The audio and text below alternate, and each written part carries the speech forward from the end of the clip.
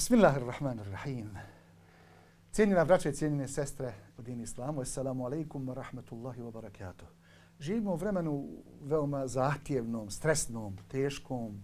Evo ova dešavanja u Gazi, pa i kod nas ovdje, pa čujemo stalno neke musibete, belaje. Pa sam poželio ovako da sa vama, dragi moji bošnjaci, bošnjakinje i ostali koji razumijete ovaj lijepi bosanski jezik, podijelim jedno značenje veoma lijepo. Čitajući knjige, mi profesori moderisi, sa, smo sa knjigama, sa talebom, jel kako, pa sa ulemom, pa najđemo ovako na sadržaje koji ulijevaju nadu, daju veliku ovako, e, dakle, za život ovako radost, jednu unose radost, to nam je potrebno. Naime, e, najšao sam jednu predaju koju bilježi imam Kurtubi u svom velikom kapitalnom tefsirskom dijelu El Džami, ali Ahkam El Kur'an, e, enciklopedija eh, e, kuranskih propisa. To je veliko dijelo u 20 tomova, ogromno, dakle treba auto jedno veliko gepek da se napuni da bi stalo u njega i treba ovaj deseta godina da ga čovjek prostudira. Deseta godina da ga čovjek prostudira kako treba. Pa sam naišao na jednu predaju e, koju on navodi tamo od Hazreti Alije, radijallahu anhu. Hazreti Alija, četvrti pravedni halifa, poslanikov Zet, je tako? E, poslanikovo potomstvo se na, nastavlja preko Hazreti, Hazreti Alije. Svaki musliman je tako voli Hazreti, e, Hazreti Aliju, Hazreti Fatimu, Hazreti Hasana i Huseina. Jednom prilikom pitao je Hazreti Alija svoje tamo prijatelje neke došli su mu pitao je ovako, kaže ma hije arđa ajetin fil Kur'an. Šta mislite? Koji je to ajet u Kur'anu koji ulijeva najveću nadu?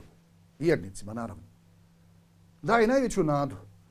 Oni su bili vični, dakle, čitali Kur'an, razumijevali poruke kur'anske, kazali su, e, brate, to je sigurno Allahova riječ u suri Az-Zumar, tamo u 24. džuzem, e, ste izubila, kul ja ibadi alladhina asrafu ala anfusihim, la taqnatu min rahmatillah, inna Allahe jagfiru dhunuba jami'a, innahu huwa al-gafuru rahim.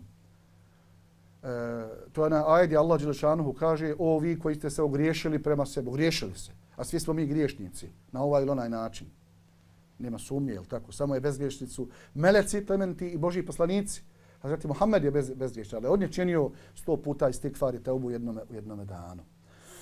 U ovome ajtu Allah Đelšanu poručuje, ovi koji ste se ogriješili, koji ste griješni, ne gubite nadu u Allahu milost. Inna Allahe jagfiru zunube džemija. Allah oprašta sve grijehe.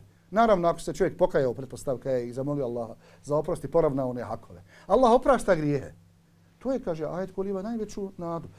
E, I kod nas se ovaj ajet uči tamo kad je ono dženaza, pa ono umjesto ono vama arsalnake illa rahmatan lil alamin, kad uči ovo inna Allaha yaghfiru dhunuba jami'a, ljudi znaju da ima dženaza.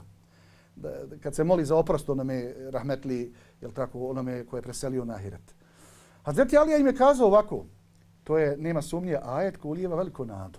Ali, nahnu ma'šara ahl bejt, mi, pripadnici poslanikove časne porodice, ahli bejta, ahli bejt, poslanikova časna porodica, al tako, najbliži članovi njegove porodice, al tako.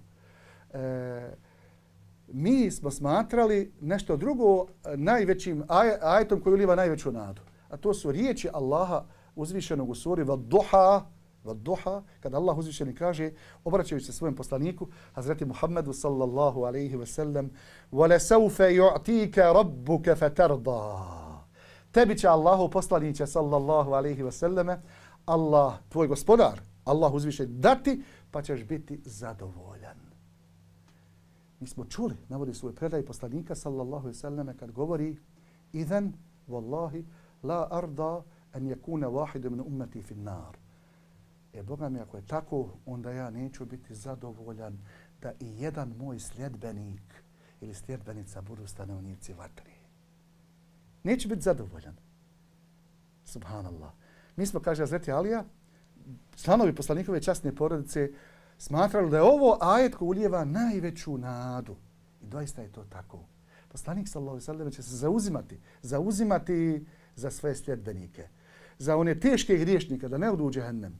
Pa i za one koji su u džennetu ušli da dobiju veću da ređu u džennetu s poslanika, kako god postaviš, ne može biti na gubitku. Zato volimo poslanika, učimo poslaniku, donosimo salavate na poslanika, sallallahu sallame, što više, to bolje e, nastojimo da očuvamo ovaj, epi, ovaj, ovaj sifat, osobinu, da smo pripadnici njegovog ummeta i sljedbenici njegovog sunneta, kako bi, inša Allahu ta'ala, poslanik, sallallahu sallame, se zauzimao za nas. Hvala vam našoj pažnji. Wassalamu alaikum wa rahmatullahi wa barakatuh.